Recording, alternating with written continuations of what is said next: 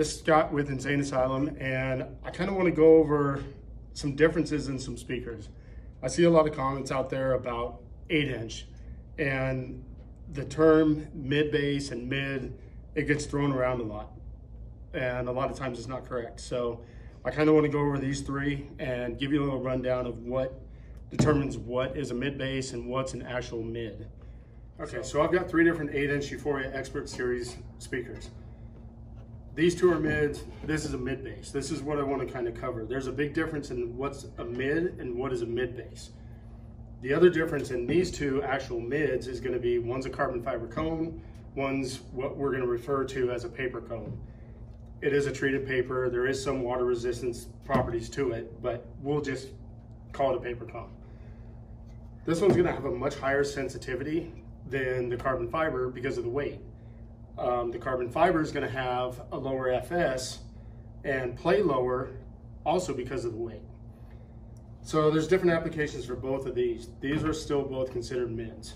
Now, if you look at this one, it's got kind of both carbon fiber, it's got the weight, but you give up sensitivity for frequency range.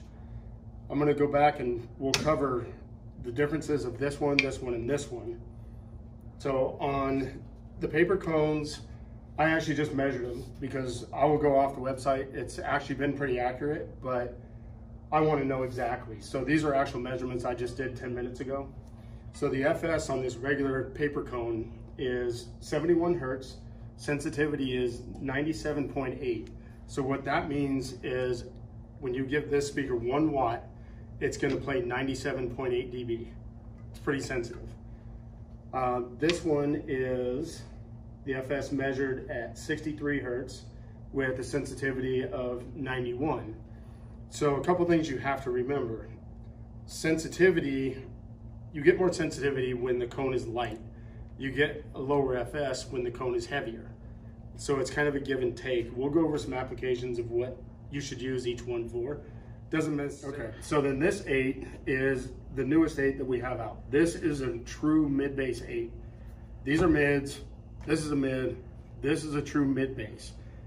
What determines the difference in the three is the frequency range that they play. This one's got a heavier cone, a heavier surround, more moving mass overall. It's a, you can see the motor structure is a lot bigger, so it's gonna have more control over that mass. Um, you do give up a little bit of sensitivity for those things though. This one actually measured at 90 dB sensitivity and with an FS of 56 Hertz. So to kind of go over frequency range and the what determines what is what.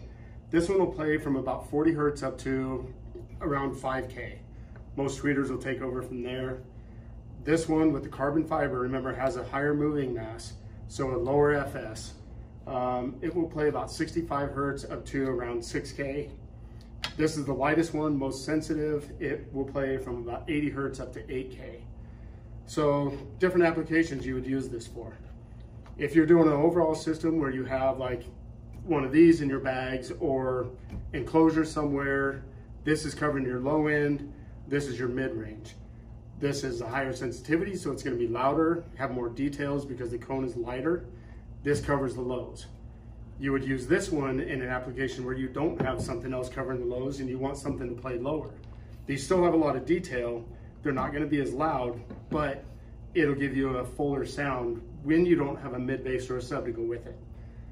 So kind of going back, these are three in the lineup, uh, the Euphoria Expert series. All three kick ass. They all have a great purpose for the right application. It's not that one's better than the other.